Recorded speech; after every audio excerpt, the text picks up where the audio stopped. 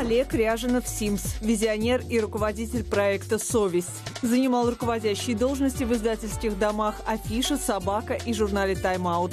Построил карьеру в компании «Связной» от директора по прямым продажам до вице-президента по стратегическому маркетингу и развитию. С весны 2016 года лидер проекта «Совесть».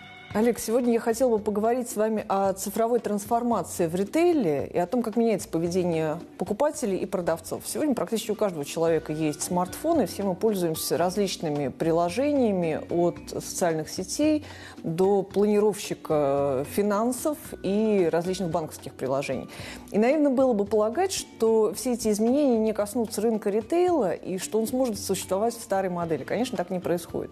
Вот если говорить о фундаментальных основах, что сейчас определяет изменения на рынке?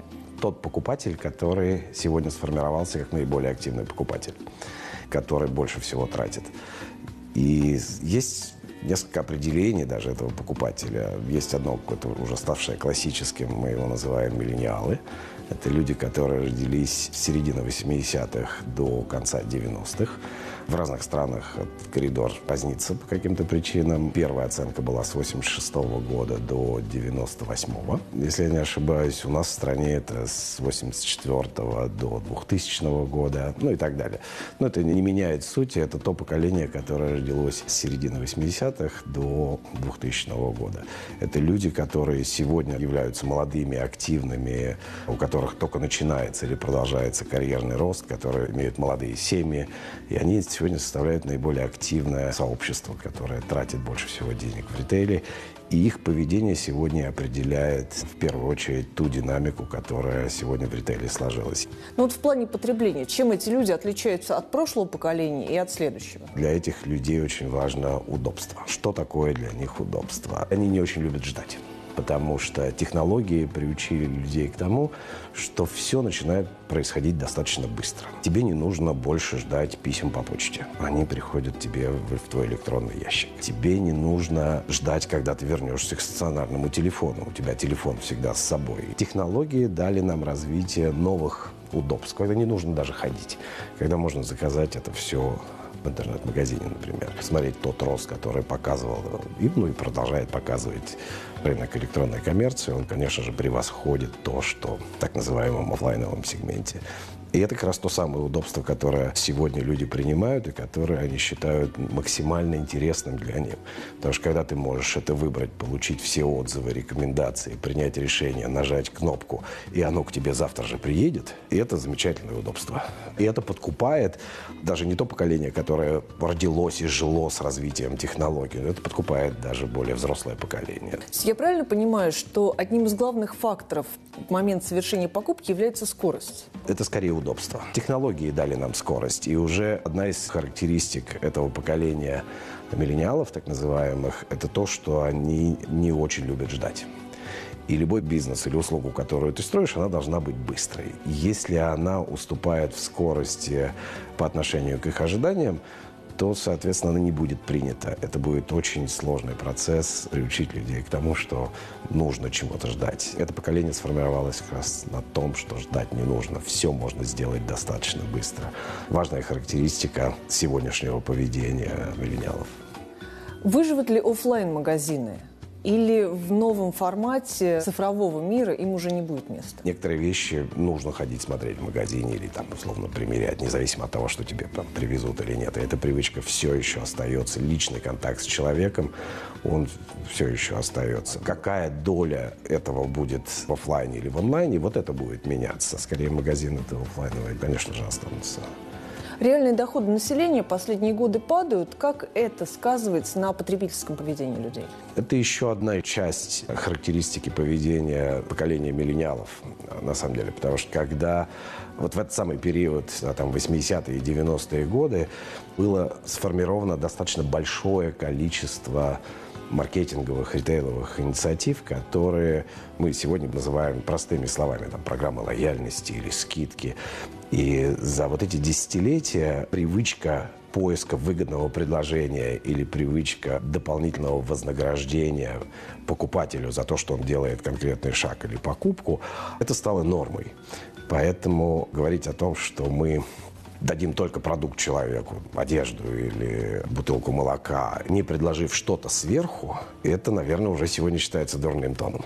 В условиях, когда рынок стагнирует или потребительская активность падает, важность вот таких программ или скидок становится принципиальными для того, чтобы продолжать развивать розничную торговлю. Эти люди не очень будут расположены к какой-то скидке, но если вокруг товара существует образ или лайфстайл, для них это будет более важно. То есть опыт и впечатления при покупке для них максимально важны, ровно как и сама покупка мы в своем продукте, в совести, когда мы предложили людям только беспроцентную рассрочку, мы понимаем, что этого мало, что вокруг этого должна создаваться какая-то чуть более широкая социальная среда, чуть более широкий лайфстайл. Мне приятно, что мы смогли ровно найти язык, на котором общаются сегодня миллениалы. Наша основная как раз аудитория, они сегодня наиболее активные потребители карт рассрочек. Карты рассрочки пока не совсем знакомый и понятный всем продукт. Многие их воспринимают как какой-то аналог кредитных карт. Расскажите, в чем принципиальное отличие? Мы предлагаем человеку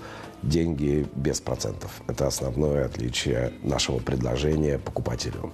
Если же говорить о технической стороне дела, то самое принципиальное отличие, конечно же, заключается в том, что мы проект как бизнес-модель, мы не зарабатываем на клиентах. А наша бизнес-модель строится по-другому. Мы зарабатываем на ритейлерах, для которых мы этих клиентов приводим.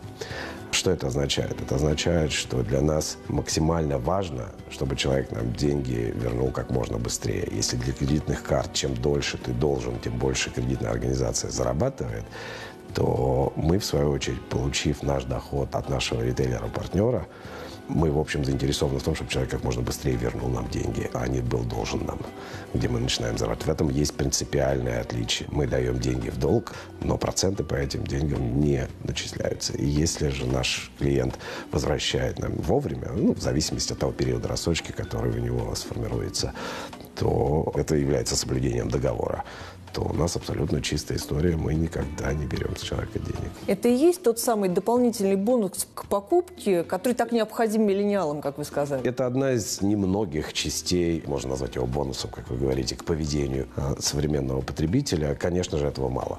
Конечно же, человеку нужно давать релевантные ему предложения. У нас сегодня сформировался пул наших партнеров, ритейлеров, э, больше 50 тысяч. У нас есть из чего выбрать, чтобы каждому человеку предложить то, что ему в этот момент нужно. Мы запускаем достаточно уникальную игровую программу лояльности, которая там, среди кредитных организаций, в общем-то, вряд ли, наверное, у кого-то есть, как система такая серьезная. Это даст возможность человеку не только тратить, но и играть с нами. И получать за это еще большее количество бонусов, еще большее количество привилегий привилегий. Наши розничные партнеры, ритейлеры, они готовы с нами участвовать в подобной программе, потому что они понимают ценность этого, и они готовы давать нам какие-то дополнительные бонусы или дополнительные предложения только для нашей аудитории. Многие исследователи говорят о том, что миллениалов отличает в первую очередь рациональный подход, в том числе и к покупке. Но по вашим словам, я могу сделать вывод, что для них очень важен эмоциональный эффект. Где здесь баланс между рационализмом и эмоциями? Для миллениалов впечатление вместе с покупкой – это вторая важная составляющая после цены. И если они понимают, что тот или иной бренд не отвечает принципам их жизни, то для них этот выбор будет э, менее очевиден. Для поколения миллениалов очень важно, например, чувство справедливости, какие-то чувства, связанные с экологическим состоянием мира. Для них очень важна интеграция в мировое сообщество. Они на этом выросли, они были частью этого процесса, когда это начиналось. И если у бренда эти характеристики присутствуют, то миллениалы будут его покупателями.